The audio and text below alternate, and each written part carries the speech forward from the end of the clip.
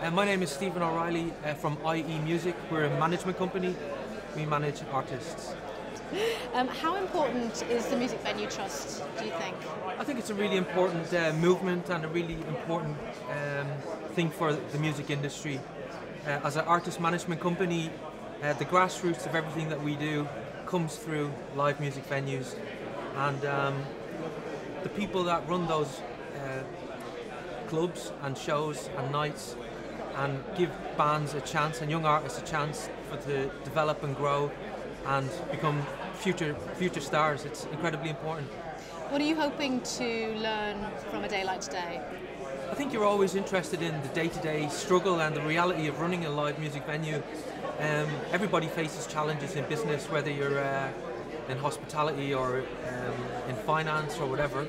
And um, yeah, it's always good to meet the people behind the uh, behind the business um, to thank them as well. I think it's important that we show respect and thanks for the work that they do because you know we're a management company and our business would be very different or would have a lot of challenges without folks that champion young emerging artists and live music.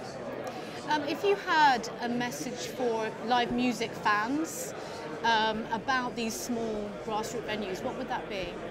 I think um, just get out there and check out the music and, and, and you know find out what's going on. If you're you know, I think people get preoccupied with television and computers and mobile phones, and actually the live music experience is incredibly uh, rewarding and it can be life changing.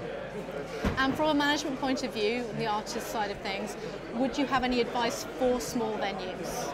Um, for small venues, I think uh, I think respect on both sides is really important. So look after the bands that are playing there because they're the next superstars, you know, and um, and, and, and the bands should reciprocate and be very respectful. That um, sometimes these folks that put on young bands, they're not they're not making any money. You know, they're doing it they're doing it for the good of society and their venue and music. So I think there needs to be respect on both sides between managers and bands to respect the venues and vice versa.